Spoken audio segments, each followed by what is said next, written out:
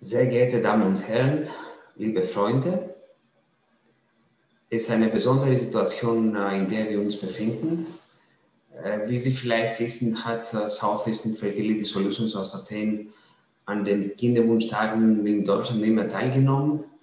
Jetzt haben wir auf der, aufgrund der Corona-Pandemie nicht die Gelegenheit, uns dort vor Ort zu treffen. Deswegen nutzen wir die Möglichkeit von Kinderwunschtagen digital aus, um äh, unsere Informationen äh, zum Thema Leihmutterschaft äh, mitzuteilen. Im Rahmen äh, meines äh, Webinars werden wir Ihnen in den nächsten 20 Minuten zum Thema legale Leihmutterschaft in einem EU-Land unsere Erfahrung in Griechenland referieren. Wir werden äh, Ihnen äh, gerne erstmal unser eigenes Team vorstellen. Wir werden mit Ihnen äh, die äh, Leihmutterschaft und die Eizellspende in Griechenland als äh, Teil äh, der Kindermundbehandlung ähm, präsentieren. Wir werden auch über die Gesetzeslage bzw. die Vorteile reden. Im Anschluss äh, werden wir Ihnen äh, unsere Erfahrung als Partner des ähm, größten äh, äh Groups von Krankenhäusern in Griechenland als Partner von Hellenic Healthcare Group äh, mitteilen. Dann werden wir über den internationalen Stand, nämlich durch Studien und Leinen zum Thema Leihmutterschaft reden. Und zum Schluss äh, werde ich Ihnen die Rechtslage in Deutschland vorstellen und ich werde Ihnen auch erklären, wie die Abwicklung äh, äh, in Griechenland ist. Wer sind wir überhaupt? Southeastern Fertility Solutions ist eine Gruppe von äh, Ärzten, äh, Krankenschwestern und äh, Sekretärinnen mit Sitz und Behandlung in Athen. Unsere Fachkompetenz liegt im Bereich äh, Reproduktionsmedizin und wir haben die Möglichkeit, Ihnen äh, von der äh, ersten Kontaktaufnahme bis zum Behandlungsabschluss, äh, inklusive äh, Aufenthalt und Rechtsberatung, äh, unsere Erfahrung mitzuteilen. Mein Name ist äh, Ioannis Romanolakis. Ich habe mein Medizinstudium in Athen absolviert. Anschließend äh, habe ich meine Facharztausbildung zur Gynäkologie und Geburtshilfe in Deutschland äh, abgeschlossen und bin an der Universität äh, Bonn im Bereich Reproduktionsmedizin unter der Leitung von Professor van der Ven promoviert. Nach meiner Facharztausbildung äh, wurde ich als äh, leitender Oberarzt im Kinderwunschzentrum der Medizinischen Universität Innsbruck in Österreich angestellt. Und äh, seit 2009 äh, bin ich wieder in Athen, wo ich auch ursprünglich herkomme, und bin als Partner äh, von Hellenic Healthcare Group und nämlich äh, als Partner von Mitera Krankenhaus tätig. Warum sollte man sich überhaupt für uns entscheiden? Wir haben die Möglichkeit, Ihnen eine Behandlung nach den deutschen Standards äh, anzubieten, denn meine Ausbildung war in Deutschland, auch über die ganze Zeit meiner ärztlichen Tätigkeit und äh, man kann bei uns auch die deutsche Qualität mit der entsprechenden TÜV-Zertifizierung finden. Sonst äh, haben Sie die Möglichkeit äh, von einer exklusiven Betreuung von einem deutschsprachigen Team.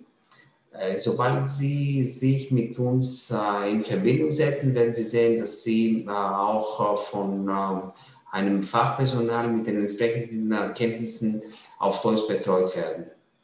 Sie haben die Möglichkeit der Kinderwunschbehandlung in äh, der größten Entbindungsklinik äh, Griechenlands. Sie haben die Möglichkeit der Behandlung in einem EU-Land mit einer liberalen Gesetzgebung und nichtsdestotrotz handelt es sich um eine Behandlung in Athen, nämlich um eine Behandlung in einer Metropole, wo man Kultur mit Vergnügen verbinden kann. Hellenic Healthcare Group ist die größte Gruppe von Krankenhäusern in Griechenland. Die Behandlung findet an der Klinik Mitera statt. Das ist die Entbindungsklinik von der Gruppe, wo jährlich über 6000 Entbindungen und 2000 IVF-Behandlungen stattfinden. Jetzt äh, gehen wir weiter zum Thema Heizungsspende. In Griechenland werden momentan ca. 10% der Zyklen durch eine Heizungsspende durchgeführt. Wir haben für die Einzelspenderinnen und nicht für die Frauen, die in Behandlung sind, eine Altersgrenze von 35 Jahren, während die Frauen, die sich für die Behandlung interessieren, äh, eine Altersgrenze von 50 Jahren momentan ähm, haben. Laut griechischem Gesetz ist die Anonymität der Einzelspenden erforderlich. Das heißt, dass sie leider äh, nichts über die Identität der Spenden erfahren dürften.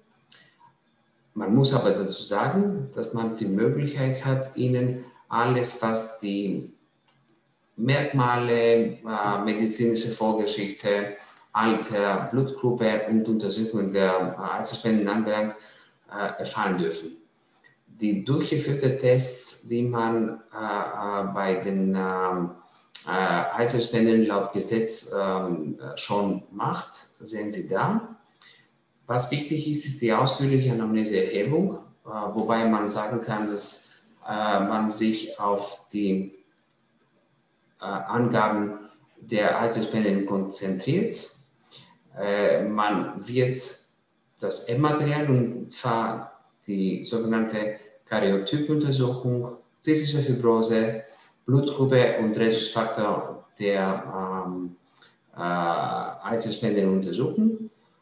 Hepatitis, HIV, Serologie und Syphilis-Serologie werden selbstverständlich auch abgenommen. Und man hat auch die Möglichkeit, von einem sogenannten Career Screening Test äh, durchzuführen, wo man über 500 Genen für diese bestimmte Eizellspenderin untersuchen kann.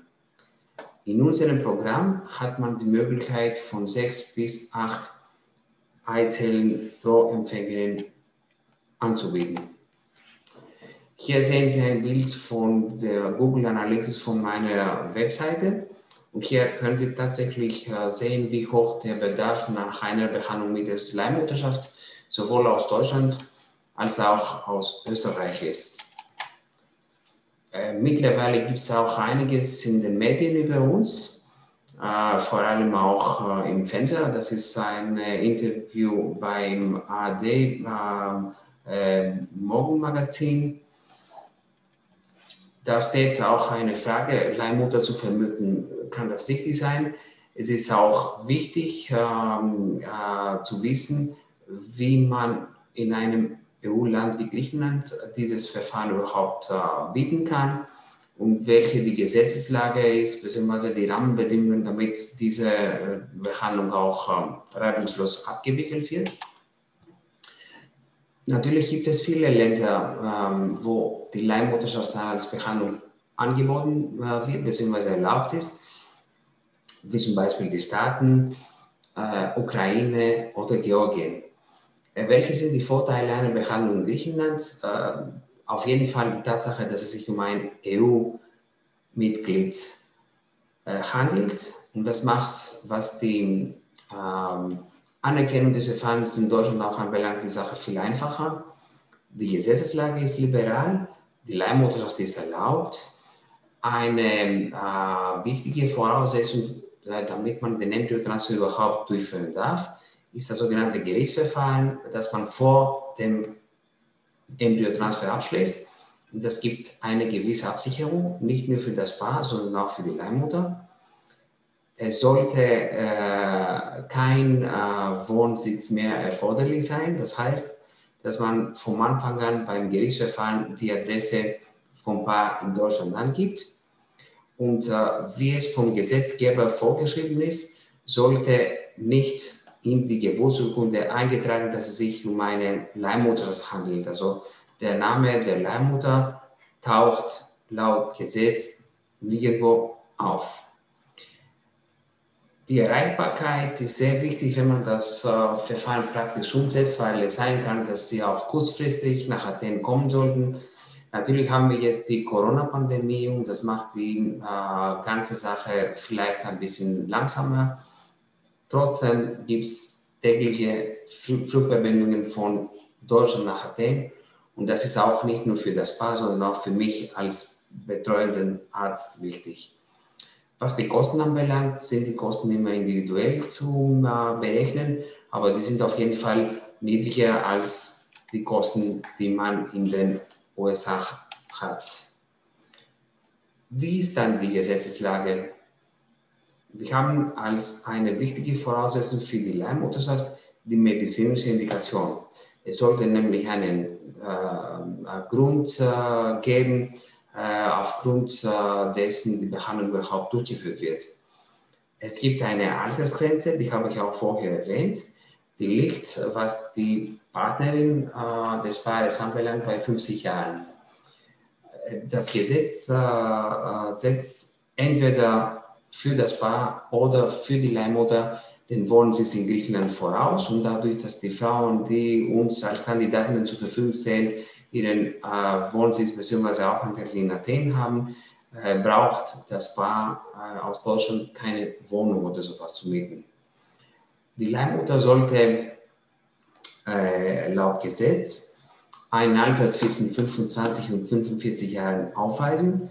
Sie sollte mindestens ein Kind auf die Welt gebracht haben und nicht mehr als zwei Kaiserschnitte hinter sich haben. Als erstes wird mit dem Paar der Behandlungsplan diskutiert. Äh, man wird äh, die Einzellen bei der äh, Partnerin äh, gewinnen können, anschließend befruchten und einführen, damit man sicherstellt, dass man zum Zeitpunkt der, ähm, des Vertrags mit der Leihmutter die entsprechenden Embryonen verfügt. Das bedeutet aber auch, dass man für die Paare die ähm, sowohl eine Eizellspende als auch eine Leihmutter benötigen, dass man auch äh, die Eizellspenderin davor gefunden hat und auch die äh, ihr gewonnen hat, beziehungsweise sie auch befruchten und eingefroren hat. Sobald der Vertrag zwischen dem Paar und der Leihmutter abgeschlossen wird, wird der Antrag vor Gericht gestellt. Anschließend äh, wird das äh, Gerichtsurteil circa äh, drei bis vier Monate später veröffentlicht. Und was das äh, Gerichtsverfahren anbelangt, ist keine Anonymität erforderlich. Das heißt, dass ähm, sowohl die Leihmutter als auch das Paar ähm, äh, dem Richter bekannt sind. Und das könnte durchaus sein, wenn das Paar schon eine äh, Bekannte aus Deutschland hat, äh, die äh, dem Paar äh, die sich dem Paar als Leihmutter zur Verfügung stellt, dass man sie auch dann entsprechend ähm, äh, vorstellen kann. Ich habe das auch vorher erwähnt, man kann sowohl frische als auch bereits eingefrorene bzw. auch nach Heizelle erzeugten Embryonen verwenden. Und dadurch, dass wir in der Europäischen Union sind und auch über die entsprechende Lizenz als äh, Cryobank sozusagen verfügen, könnte man auch Embryonen oder Eizellen verwenden, die man bereits im Ausland eingefroren hat. Es gibt äh, viele Firmen, äh, Transportfirmen, mit denen wir zusammenarbeiten. Äh, die äh, Lieferung äh, des äh, generischen Materials von Deutschland nach Athen dauert nicht länger als zwei bis drei Tage. In der Regel wird das Kind über Kaiserschnitt auf die Welt kommen und das ist so, weil das für die ähm, Abwicklung aus praktischer Sicht sowohl für das Paar als auch für die Leihmutter einfacher ist. Aber man kann durchaus sich auch für eine spontane Entbindung entscheiden. Anschließend äh, wird der Name der werdenden Eltern oder der biologischen Eltern, wenn man die Eizellen der Partnerin verwendet hat, in die Geburtsurkunde eingetragen und wie gesagt, der Name der Leihmutter äh, taucht in der Gebärsurkunde nirgendwo auf. Hier sehen Sie aus unserer äh, Erfahrung, wie die Behandlungsindikationen sind. Die größte Gruppe, circa die Hälfte der Frauen, die sich für eine Leihmutter entscheiden, sind Frauen, die bereits erfolglose IVF-Versuche hinter sich haben.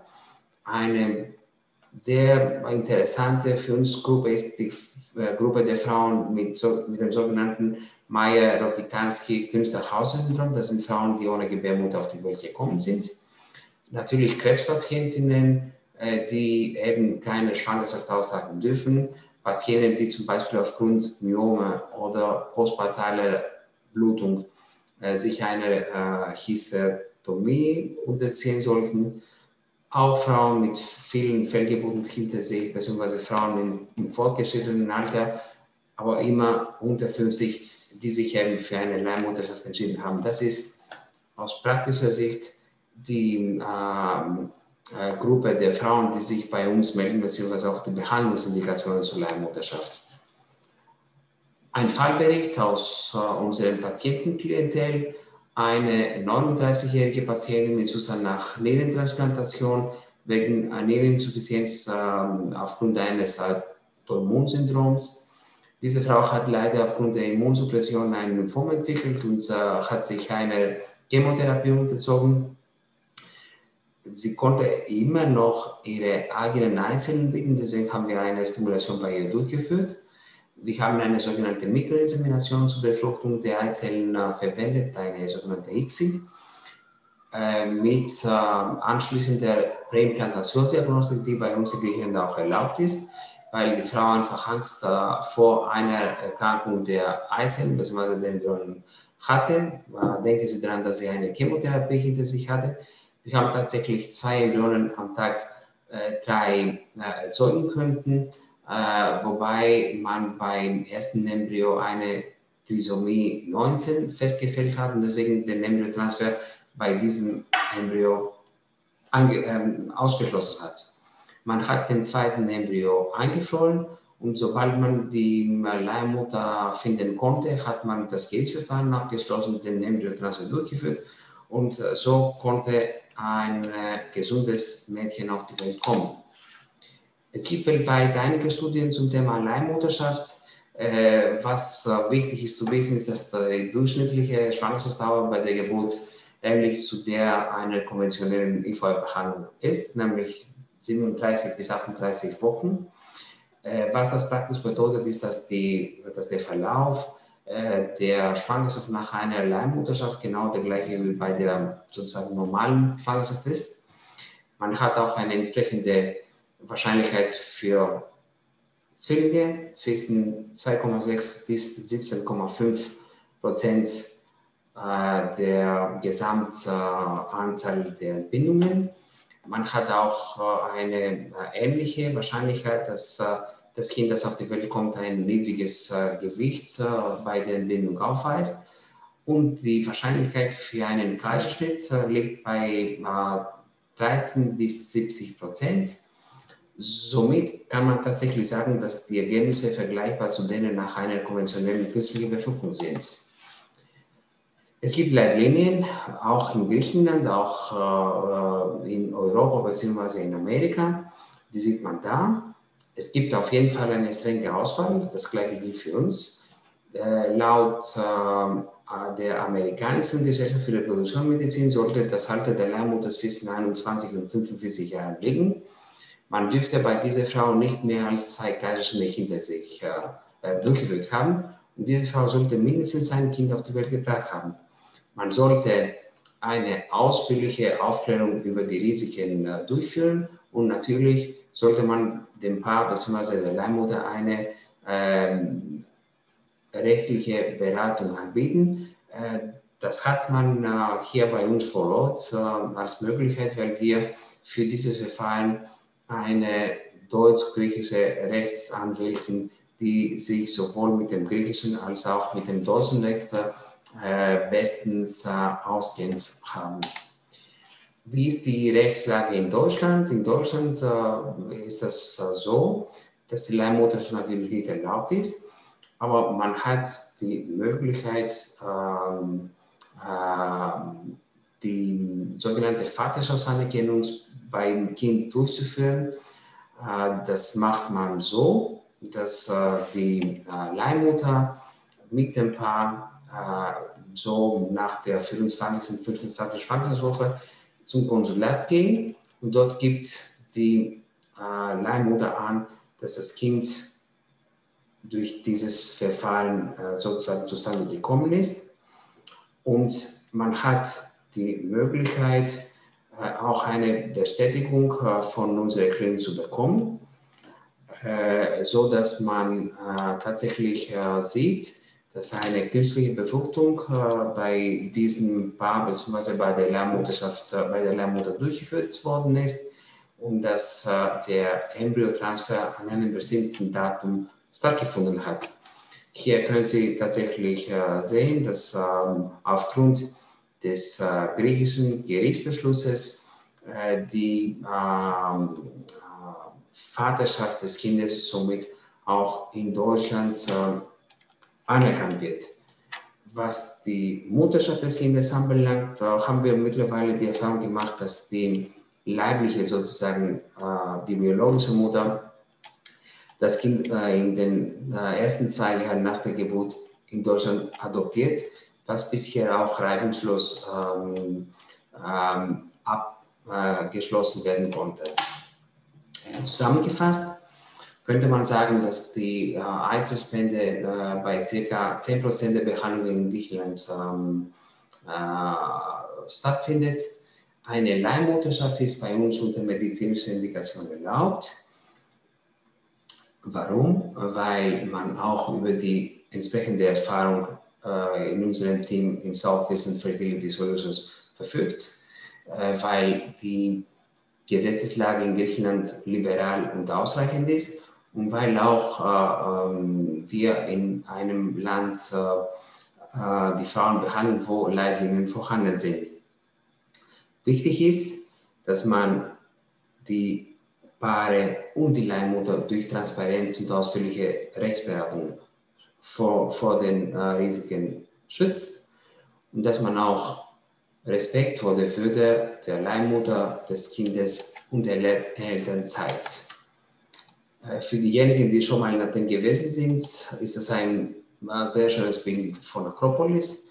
Athen ist eine Metropole äh, mit einer über 3000-jährigen Geschichte die bei den Deutschen sehr beliebt ist. Und Griechenland ist ein tolles Land, wo man Kultur und Vergnügen kombinieren kann. Ähm, so komme ich auch zum Schluss meiner Präsentation, meines Webinars. Ich möchte mich bei Ihnen ganz herzlich bedanken. Hier sehen Sie die Webseite, bei der Sie einiges an Informationen holen können.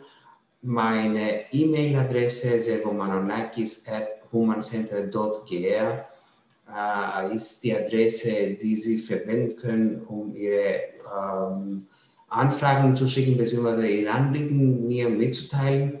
Und ich zusammen mit meiner Assistentin, mit Alexandra, sind diejenigen, die äh, Ihnen zur Verfügung stehen. Hoffentlich sehen wir uns auch bald.